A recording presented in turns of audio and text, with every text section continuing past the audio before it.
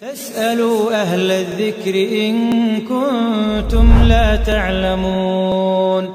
محبة النبي صلى الله عليه وسلم من الأعمال الصالحة التي يعظم أجرها وثوابها عند الله عز وجل ويعظم أثرها في الدنيا.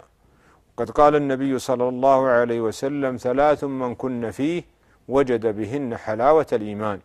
أن يكون الله ورسوله أحب إليه مما سواهما. وأن يحب المرء لا يحبه إلا لله. وأن يكره أن يعود إلى الكفر كما يكره أن يقذف في النار. كما في الصحيح. وجاء في الحديث الآخر حديث أنس في الصحيح أن النبي صلى الله عليه وسلم قال لا يؤمن أحدكم حتى أكون أحب إليه من ولده ووالده والناس أجمعين. ولذلك من معتقدنا أنه يجب على الإنسان أن يقدم محبة النبي صلى الله عليه وسلم على محبة البشر أجمعين حتى على محبة النفس حتى على محبة النفس كما ورد ذلك في حديث جماعة من صحابة النبي صلى الله عليه وسلم.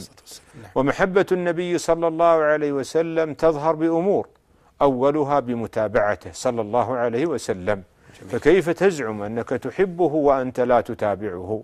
وقد قال الله تعالى قل إن كنتم تحبون الله فاتبعوني يحببكم الله ويغفر لكم ذنوبكم.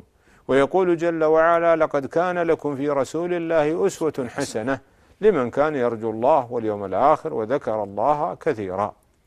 والأمر الثاني مما تظهر فيه محبة النبي صلى الله عليه وسلم طاعته بحيث إذا جاءنا أمر من أوامره صلى الله عليه وسلم بادرنا إلى امتثال ذلك الأمر.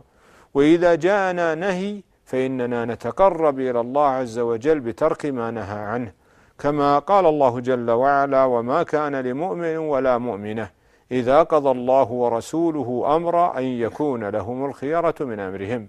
وكما قال جل وعلا وما آتاكم الرسول فخذوه وما نهاكم عنه فانتهوا. وكما قال سبحانه فليحذر الذين يخالفون عن أمره أن تصيبهم فتنة أو يصيبهم عذاب. أليم. ومن مظاهر محبة النبي صلى الله عليه وسلم ترك الابتداع وعدم التقرب لله عز وجل بعبادات لم يشرعها هذا النبي الكريم. فكل عبادة لم يأتي بها رسول الله صلى الله عليه وسلم فيتركها المؤمن لأن هذا من مظاهر محبة هذا النبي الكريم. قال تعالى أم لهم شركاء شرعوا لهم من الدين ما لم يأذن به الله. وقال النبي صلى الله عليه وسلم من عمل عملا ليس عليه أمرنا فهو رد أي أنه مردود عليه غير مقبول عند الله عز وجل.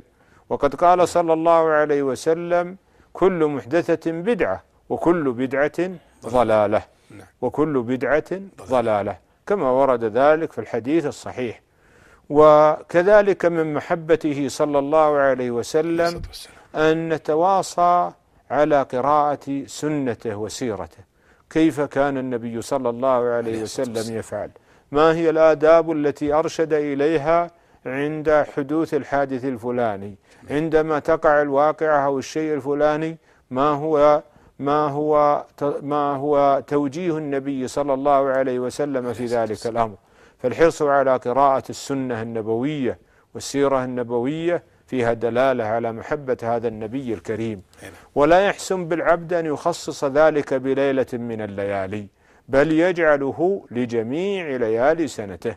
أما تخصيصه بليلة واحدة من ليالي السنة فهذا ليس من محبة النبي صلى الله عليه وسلم بل هذا مما ينافي المحبة التي تكون من المؤمن للنبي صلى الله عليه وسلم لأن المؤمن حريص على أن يقرأ السن السنة النبوية والسيرة في جميع أيام سنته ولا يخصها بليلة أو ليلتين من ليالي السنة.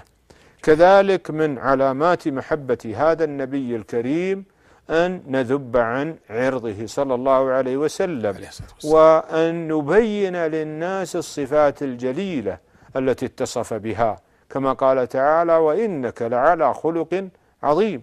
وكما قال سبحانه فبما رحمة من الله لنت لهم. ونحو ذلك من النصوص.